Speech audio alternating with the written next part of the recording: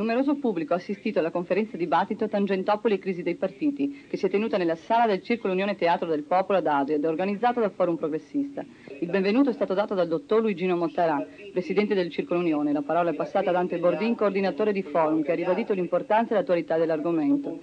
Il pretore di Adria, Giuseppe Silvestre, moderatore del dibattito, ha detto che i partiti stanno attraversando un momento di crisi di identità e devono prendere de importanti decisioni vista la situazione di precarietà in cui si trovano. Questa crisi, ha affermato, rappresenta rappresenta un elemento di consapevolezza sul ruolo dei cittadini. L'avvocato Raffaele Micucci ha sottolineato l'importanza della caduta dei regimi dell'Est, che hanno posto problematiche nazionali ed internazionali. La crisi della politica italiana richiede soluzioni politiche demandate a uomini politici. La magistratura deve svolgere i suoi iter in piena autonomia e senza protagonismi. È necessario, afferma Micucci, creare una forza alternativa a quella che governa. La stampa deve dare un messaggio al popolo italiano e la speranza in un rinnovamento. L'avvocato Luigi Migliorini ha affrontato il tema con toni anedottistici, ironici. L'Italia sta vivendo un secondo rinascimento, un illuminismo. L'avviso di garanzia rappresenta una condanna di natura politica per i politici.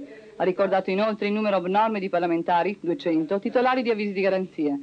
Infine Giampaolo Schiesaro, magistrato, segretario regionale dell'Associazione Magistratura Democratica, ha auspicato una Repubblica dei cittadini dove della politica sia protagonista la gente. Ha affermato che il sistema giudiziario è lo stremo per una mancanza soprattutto di riforme slittate da tempo. Durissime le accuse all'ex ministro di Grazia e Giustizia, Claudio Martelli. Non è democratico un paese che non opera giustizia, ha ribadito. Il pretore Schiesaro ha poi ricordato i molti scandali che hanno coinvolto il nostro paese, i processi, le troppe stragi. La conclusione è stata affidata al professor Gianni Ferro, il quale ha detto detto che la politica va supportata da correttezza e veri valori. È seguito un acceso dibattito con il pubblico.